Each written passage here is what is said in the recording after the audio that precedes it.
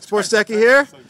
Yeah, thanks. We're uh, looking at the bike doctor. How you doing? Hey, all right. All right, and we were talking about the Tour de France and the last year your Mecca. Yeah, I went to the uh, Tour de France last year and uh, checked it off my bucket list and, and had a good time and got to uh, yell out, give a yell out to uh, Lance about how much Seattle loves him and uh, what he's doing up here. Uh, live strong. Nice. And then you uh, were mentioning Bob Roll, and you know you just love that guy. Yeah, Bob is Bob is hilarious. I, I love his viewpoint. He's a he's a, a grunt rider and uh, and uh, a guerrilla rider, and, he had it. I really like his viewpoint on things. And uh, you were telling me about that technology you like, the new one on Versus. Oh, the shack tracker. Boy, that really helps. That aerial view of the peloton, that and having that shack tracker is awesome. Nice.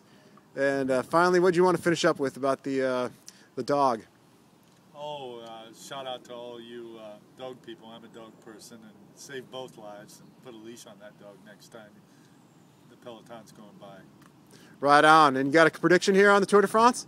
Well, I'm hoping Lance wins, but uh, if not Lance, maybe uh, Andy Schleck.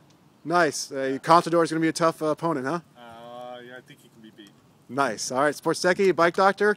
Good luck Tour de France and Versus. Thanks a lot.